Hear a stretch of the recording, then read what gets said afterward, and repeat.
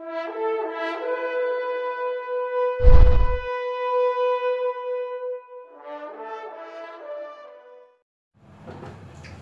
दोस्तों trick biology गुरु में मैं डूंगर दत्तरंगा आपका कंप्यूटर गुरु आपका हार्दिक स्वागत करता हूँ। हमने अपने लास्ट वीडियो के अंदर नंबर सिस्टम का वो टॉपिक स्टार्ट किया जो थोड़ा सा टिपिकल अपने को लगता है। टॉपिक है पॉइंट्स नंबर कि पॉइंटों की संख्याओं को बाइनरी डेसिमल वगैरह कैसे निकाला जाता है। तो अपने पिछले वीडियो के अंदर हमने बाइनरी टू डेसिमल और डेसिमल टू बाइनरी कर लिया। आज हम करते हैं ऑक्टल टू बाइनरी और हेक्साडेसिमल तो चलते हैं अपने टॉपिक एक ऑक्टल संख्या है 25.25 इसकी अपने को बाइनरी और हेक्साडेसिमल निकालते हैं। तो अपने पुरानी ट्रिक को याद करते ऑक्टल से बाइनरी की वो थी कि तीन तीन का ग्रुप कैसे बनाए।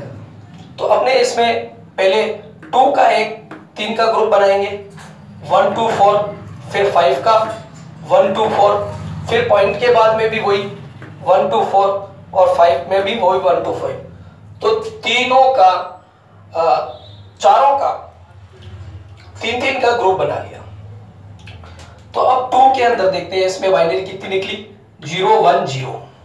फाइव की बाइनरी हो गई है वन ज़ीरो वन फिर टू में भी वही, ज़ीरो वन ज़ीरो, और फाइव में भी वन ज़ीरो वन यानी कि two five point two five octal संख्या की बाइनरी कितनी होगी zero one zero one zero one zero one zero one zero one ये हो गई बाइनरी इसी बाइनरी से अब निकालते हैं हेक्साडेसिमल तो हेक्साडेसिमल के लिए भी वही ट्रिक चार चार का ग्रुप बनाते हैं। तो अपने इसमें नीचे एक बाइनरी संख्या इसको उतार लिया है। अब one two four eight one two four eight इसमें फोर के ग्रुप के लिए दो ज़ीरो और ऐड कर दिए। इसी तरह इधर वन टू फोर एट और वन टू फोर एट था।